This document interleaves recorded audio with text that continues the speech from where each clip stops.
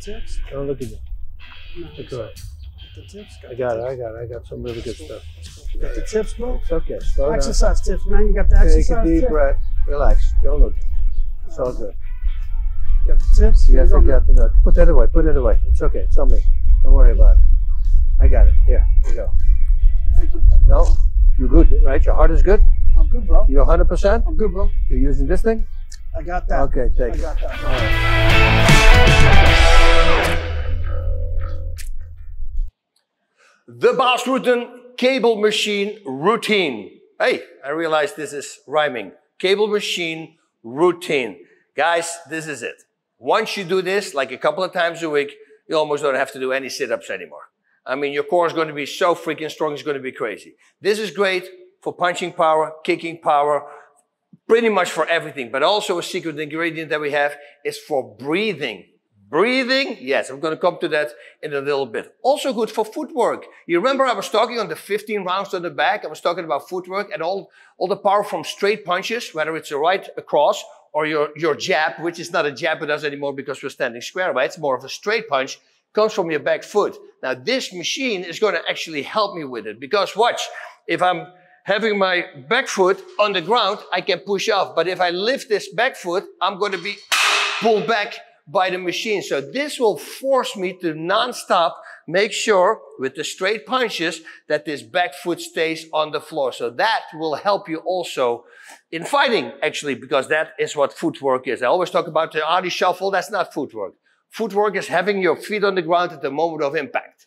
Because once you have that, that's the only way to put your body weight into a punch. Whether it's hooks, straight punches, make sure your feet are on the ground.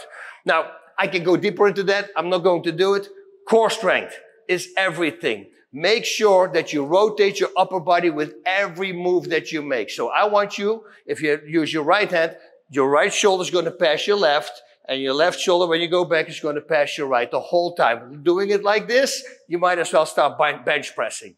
It's single shots. The single shots also stabilize you a lot because it's going to pull you a little bit to the side. So this back muscle here on the top is going to, it's going to be needed because to keep your body straight. It's like walking with one kettlebell, right? It's really good for your core because you constantly have to hold it at the same spot. You will have that here as well. But also the great thing is your one arm makes you rotate and now you're really using your core. Like if you're laying on, on a bench press, right? Nothing really happens only you're training your triceps. Uh, if you keep your elbows low and if you keep your elbows up, it's chest and triceps. You see, so it's important. Back foot on the floor, rotate everything. And why rotate with everything? Because I can block kicks, I can come back, I can deflect punches, can come back, deflect punches, can come back, block kicks on this side, can come back. With this open stance that we have, that I talked about on this 15 rounds, you can do pretty much everything. But let's not get into that because right now we are doing the cable machine routine. The first thing we're going to start with is straight punches. Whatever I do, if I do straight punches, I also use the reverse muscle. It's always good to train both muscles. It's like walking on a treadmill. You know, you also want to make sure if you did like 30 minutes on a treadmill that at least you walk 10 minutes backwards on a treadmill. I only do incline running and walking. I will go over to that uh, as well one time with you guys so I can show you my routine, what I do on the treadmill. But walking backwards is very important for stabilizing the knees because otherwise you're only using one muscle. Uh, what is it? The front muscle. You want to use the back muscles as well. Same here. Pushing, you also have to pull. So let's get to it. Oh, wait. No, no, no, no. We forgot one thing. Breathing. Why would this be good for breathing? Okay, I explain to you. Once you know these, uh, these exercises, you can start stacking up weight. And that's important, very important. Don't go crazy because I want you to make sure that you can do at least 20 repetitions with every rep. I would try 25 when I was training myself for the fights over in Japan, the 30 minute fights. I would do everything 25 repetitions. Now, when I punch with one side, that means that I'm really going to have to use my core. And once you start flexing your core and you understand breathing, well, if you crush your core together, you can't really expand your chest, right? And breathing is done by expanding your chest. And the biggest movers for expanding your chest are your diaphragm, which is located behind, behind the lowest part of your rib cage all the way around. And which are your intercostal muscles, your external intercostal muscles, which are the muscles in between your ribs. Those expand your chest, and then there's a vacuum between the body and the lungs, and that vacuum, that will open up your lungs. I always mention this because otherwise you maybe don't understand. Your chest doesn't expand because you put air in them. It works the other way around. Your chest expands, and that is how you pull the air in. I know, it's a mind breaker. It's a really weird thing to say, but once you understand it, ooh, a whole new world is going to open up. So if I'm flexing here, it's very hard for me to breathe because the correct breath, I have to actually use my diaphragm. Those muscles here, belly breathing is what they say. It's, uh, it's belly breathing, but that's just for in the beginning to get inside your head because officially you should really focus on the bottom part of your rib since that's where your diaphragm is located. So it pushes in and pushes out. And we're going to stop that with this. But on our way back, when we pull, it's going to be relaxed for a moment. That's going to be your moment to take a deep breath or maybe a short breath. It all depends on how much weight you're going to stack onto this. Start slowly, guys. This is important. Start slowly, get familiar with the exercises till there's grinded in, and then you can start stacking up weight. Also very important, if you do this before a fight, uh, you know, you want to first of all stop like 12 days before the fight. You want to keep all the muscles around your chest relaxed because if they're not relaxed, you know, you can't expand your chest fully and that's going to hurt you in the stamina department. But also, if you're cutting a lot of weight and then you're putting on a lot of weights with this, you might start pulling something. You don't want to have that. So always be careful. Always warm up. Take lots of fluids. Fluids are going to get out, get out there anyway in a heartbeat. So you don't have to worry about that. All right. So let's get to it. We're going to start with exercise number one. The straight punches. We're going to start with the cross, but I also call my left a straight punch. And again, for the people at home, our stance is an open stance. That means there's no jabs. This is a straight punch because that together with upper body rotation, pushing off of my back foot, that will give you a lot of power. It's very important. Now, a straight punch is done by your triceps. It's not done by your chest. What do I mean with that? That means that we don't want to punch like this. That's bench pressing, has nothing to do with punching. We want to keep those elbows low. It's important. Keep those elbows low and then go straight forward. Now, if your hand naturally twists at the very end, you can do it. I want to focus on it. It's just a whole taboo. Everybody's saying you have to do this. It's complete BS. You really don't need it. And the fun part is actually, I believe that uh, Muhammad Ali said it. He said that you have to twist at the very end. Well, watch him box. He's not doing it. So there should be a reason that he said that. I think he just did that to get inside your head. Because if you think about it, you're actually telegraphing right? If I start twisting here already, my arm moves. You see this movement. And as soon as you see this movement, well, you see movement, you expect something coming. But if you keep this elbow low, see, it's very hard to detect, detect this punch. Also, this punch and now an overhand is a complete different punch. So just take it from me and otherwise watch watch the other video we shot where I hit the back 15 rounds because I go into detail there about the technique with straight punches. Uh, hooks with everything, but for now, it's the straight punch. Now, whatever I do forward, I also do backwards. So I'm just going to do a few repetitions. Okay. I do a few on the right, a few on the left, and then I'm going to flip it. This is important because I want to work the reverse muscle as well, which is going to hit the back here and my back muscles. So the first one, straight punches. I always start with the right. It's very easy. Make sure that the, the bar by the roll actually, when you lower yourself, is a little higher than your shoulder. And the reason I'm saying this because sometimes they don't have a ball on it or there's a little, uh, little pieces of metal are here and you're going to scrape your shoulders open. I had it a bunch of times. My students had it a bunch of times. Don't do that. So watch out for that. Lower yourself a little bit. Make sure it's a little bit higher. It's important. Okay. Pushing up on the back foot. That back foot stays on the ground. Elbow stays against the body. And this is it. Whoop. Forward. If it comes naturally to turn at the end, just do that. But rotating, you see, is very important. Just doing this is not good. And by the way, for you people at home, as you can already tell, this is my weak arm. So if this technique sucks a little bit, because it could be because other muscles are, supporting muscles are trying to fix whatever problem I have with this arm, just look at my left arm because the left arm will do it perfect.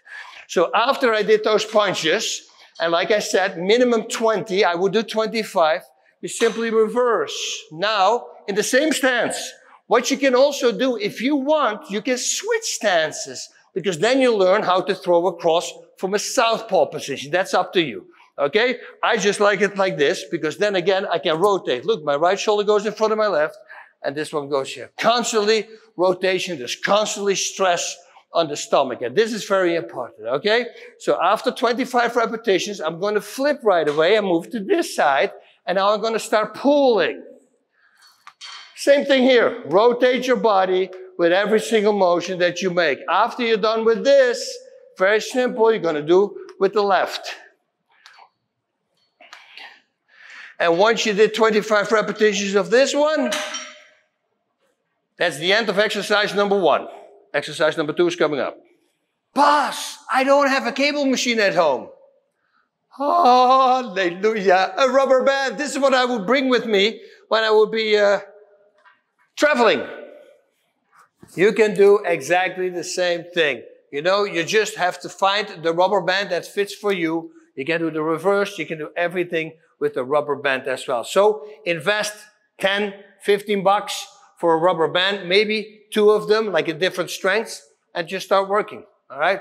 There's always a solution. Exercise number two, body shots. We can't forget the body shots, right? Spleen shot, liver shot. Spleen is delivered uh, with your right hand. A liver shot is delivered with your left hand. First of all, we bring the roll down to my knee level.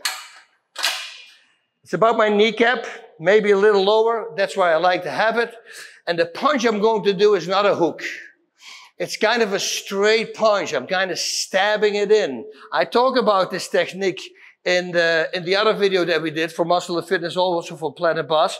If you have a little knife sticking out here, out of your knuckle, and if I hit somebody and I slice his whole stomach open, I delivered the wrong punch. What you want to do is you want to stab it in there, and that hole of the knife needs to be exactly in his body as big as the, the knife is. Then you made the perfect punch. Now, why wouldn't I make a hook? Because it's very simple. If somebody gives me a hook to the body and I bring my body back, I'm going to miss. But if I'm stabbing it in there, he can go back whatever he wants. I'm still going to clip him. Now, it's also very important that we hit it in a little bit of an angle upwards. So it's a combination of a whole bunch of different punches. It's like a hook, an uppercut, a straight punch. It's, it's all that combined. I want to hit the body in such a way where the, just the rib is, just there in the middle. So this is where my rib is. I want to hit it like that, right here. The liver is a big organ, by the way. It's the biggest organ next to your skin. Skin is the biggest organ, then the liver will be the biggest organ. Stab it in and push it in there. Push it at the very end. But it's all upper body rotation. So I don't want you to stand still and only do this constantly rotate, constantly rotate. Really good and really strong for your core as well. Let's start with the right one. I'm going to put a little bit lighter weight on it. Listen, I used to do this with crazy freaking weights, but just for the explanation, we don't really need it. So, back foot, both feet are on the ground. This is very important. We have this part, and I'm going to step forward. If you give a body shot, it's almost like you want to hit it here uh, and then come out on the opposite side of the shoulder blade, just below the shoulder blade. So diagonally, you're going to go through the body. That's what you want to do with the liver and you want to do with the spleen shot. Yes, yes, I'm just stabbing it in there, straight forward. So don't make a hook. No, straight forward. After you did that, same thing with the left. Whether you switch stances, that's up to you. I like to do it in the same stance. And now here is also the liver shot. You see, it's almost a straight punch to the body, but with a lot of rotation. And trust me, that for a body shot will be the most effective. But of course, we need to train the reverse muscle as well. So now you're going to step away. Now we're attaching, attacking a little bit a different muscle from our back because it's diagonally going down. And the same thing here, rotation with every move you make is very important. 25 repetition and go to the left. And you do the same thing with the left. And that will be it for exercise number two. Now, when I was competing, I will go back to the straight punches right now. And why? Because straight punches, you throw the most in the fight. So I figured I'd double up on those. Okay, so that's up to you. If you're fighting and competing, I will go back to the straight punches right now. Take that as the third one. But now we're going to go to the third exercise if you don't double up on the straight punches. This is going to be confusing, but this is easy. Okay, so first of all, this roll that we have here, we're going to have to bring it all the way down. And now it's also very important that I'm going to stay close to the machine. And the reason I'm staying close to the machine is this. It's uppercuts. And I want to go straight upwards. If I'm standing here, you see, it's diagonally pulling backwards. Here, closer to the machine, it's all the way going perfectly down. And I will put a lot of stress on my uppercuts. Now, the uppercuts, I hated this exercise in the beginning because you're going to feel this hard on your core. But then I started really loving it. It's probably because you will feel this one the most. Now, with an uppercut, normally you pass the head and that's it. You don't want to go higher. Since I like mixed martial arts and a lot of you guys do mixed martial arts, I did, I hit two birds with one stone. Okay, so what I'm doing, I'm going to go all the way up. And the reason is that I'm going to get very strong underhooks from as well. So if somebody wants to, wants to take me down, I have a really strong underhook. So punch, and I know this is not the perfect punch. Don't look at technique. This is just to train those muscles. Push up on your back foot all the way up. All the way up. Rotation the whole time. So, it's going to look like this. And again, make sure you stand close to the machine. Hoop, straight up. Hoop, straight up. Hoop, straight up. Hoop, straight up. Up, straight up. And again, you want to do 25 repetitions and make sure that at the end of 25 repetitions that it goes like this. 23, 24. You see, you want to time it in such a way, not like you're going to go 24, 25, go to the next exercise. That makes it easy. Don't do that. You always want to push. Left, same one. Stand close to it. It's important because it needs to go straight down. Same here. You just rotate and bring that arm up as high as you can. So it's not only good for an uppercut, it's also good for an underhook.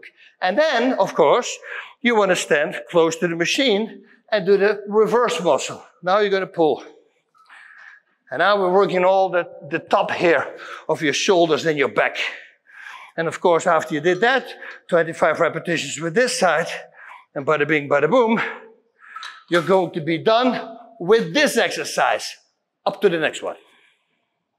Okay, so the last exercise is coming. This time we do simultaneously. This exercise I'm just doing because otherwise, you know, you don't train your chest muscles at all. And since I do want to have a little bit of a symmetric thing going on, I figured, you know, let's throw that in.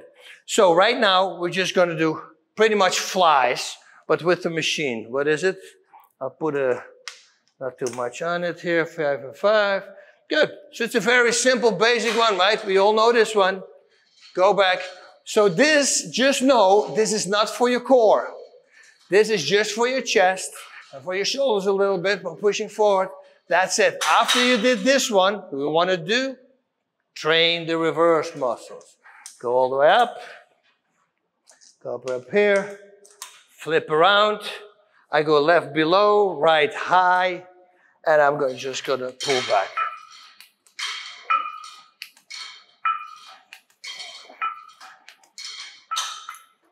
And that's it. So let's do a recap really fast. So what you want to do, straight punches, then you start pulling. Then we're going to start doing the body shots. Body shots also reversed, pull. Go back to the straight punches. Since straight punches we, we use a lot in a fight, go back to the straight punches. Also use the reversed one. Wrap it up with the uppercuts. And then we're pulling it up. That is all the punching and that's all for the core. And then just to give you a little bit of a chest, so you're not going to look completely like a fighter. So this will get you a little bit of a better posture. I do the flies on the machine and I pull back as well also for my, uh, my back shoulders, so to say. All that together, I do normally in 32 minutes. It takes me eight minutes to do a complete rep. So that's a lot, right? I mean, think about it. I do one, two, three, four, five exercises, but I also do the reversal. So 10 exercises I'm doing. I do 25 repetitions of each and I do it, I, I, can, I can do this in 32 minutes. Think about that. Normally, when you do something like that in a gym and you really focus it and, and, and you do only 10 repetitions, it's going to take you an hour. At least, I think, an hour and a half because you want to take rest in between. I do everything with supersets because if I'm training, let's say my triceps now, then my, my triceps can now rest while I'm pulling and train the reverse muscle. And then I go back. And in the beginning, this might be hard, but guess what? Your body is a freaking amazing machine. And soon enough, you don't know any better. And bada bing, bada boom, you can do it and you can fly through it in 32 minutes. I have people here in the morning. I'm, I'm early. I'm six o'clock in this gym. And you see people coming in, they're already here on a treadmill. And I see sometimes the time they're like 25 minutes. And after the treadmill, they still, they do this whole workout. I'm already gone. I'm like 35, 40 minutes here and that's it. But I go. You know, it's hard. I really need a cold shower or uh, even I jump in the pool maybe outside because it's a really freak hard working out, uh, hard freaking workout. But that's going to make it fun, right? Getting used to it and be ready because now for me, the only thing that I have could be a street fight. Now it's been since 1908, 1998 that I had a street fight. So street fight's not going to happen, but hey, you never know if it happens. And if your body is ready to throw out a lot of power in a short amount of time, well, that kind of mimics it, right? So that's why I'm doing these kind of exercises, and it's just really good for the body. Now, the next thing that you need to know, which is very important, make sure you put some good food in your body, right? Very simple. The mornings when I wake up, I have EAAs, essential amino acids, and with um, uh, some electrolytes, and that's I drink like a liter. That's a quarter gallon. That's the first thing I drink when I get up. Then I drink one little bit of coffee. I have a special mushroom powder that I have with all the different kind of mushrooms in there. I'll drink that and then I will be in this gym going hard. When I go back, I drink a protein shake, walk the dog, do some other things. And when I come back, that's when I take my first meal, which most of the time it's about two pounds of sweet potatoes. Very boring, but it makes me feel good. All right, guys, Godspeed. Let me know what you think of this. You know, hit some comments and let me know what you think of this exercise. This is one of these things that I would only do when you're before a fight because a lot of people, they get bored out of their mind really fast. I'm not. You know, yes, I, I, I might be bored, but I can still go over it. So I can do something, this I can do four times a week and not be bored of it. I just do it, you know, and, and, and this is a really nice little hint actually for everybody to know. If you don't want to work out physically, right, for your physical workout, if you don't want to do it, but still do it, now you not only train your physical body, you also train your mind because you're doing something that you don't want to do. And this is something that a lot of people steer away from. Well, I don't feel like today. Well, that's for you. You have to do it. You just have to do it light. Yeah, but I'm feeling a little bit under the weather. Do it really light, but still do it. Just always train yourself to still do something. We don't have to have everything perfectly in order. Sometimes it's good to do the things that you do not want to do because that's going to make you mentally struggle. All right? Hope that works. Godspeed, everybody. And fight on. Oh, come on, man. Oh, I need the tips. You got the tips, man? Give me the tips. I need more exercise tips.